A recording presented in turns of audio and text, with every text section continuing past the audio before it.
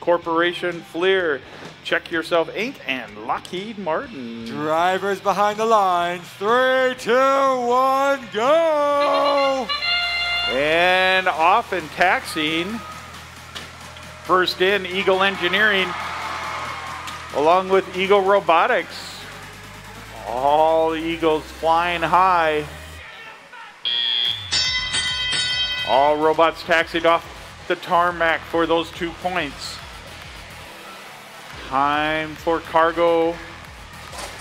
You can carry three cargo. Looks like 5818 has a red and a blue in their cargo hold. Going to play defense. Berkelium up into the upper hub. Bouncing in and out for the blue. Red Alliance. Berkelium very accurate on their shots right now.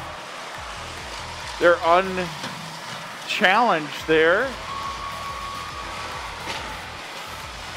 Getting free shots. Everyone else is blocking out. There we go. Eagle Robotics to be able to put a couple cargo into the upper hub. Gets away.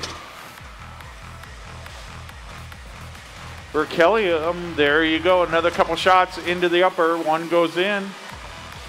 Paly Robotics looks like they might be having a little robot problems, but they're up and running again.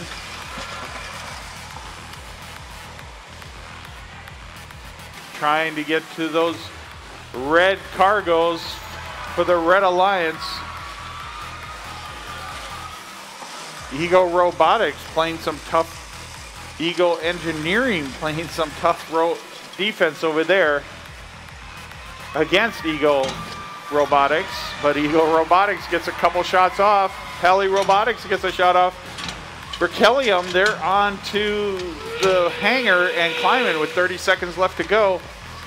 They're already on the mid mid rung, looking to get to the high rung. Over there on the Blue Alliance. Oh, that was a nice bounce back into the lower hub for the Blue Alliance. And there they are. Oh, we have a fail. Oh, and a tip over. It looks like Blue Alliance has one robot on the ground and one robot on the mid. In the Red Alliance, with two seconds left to go, we have two robots on the rungs posted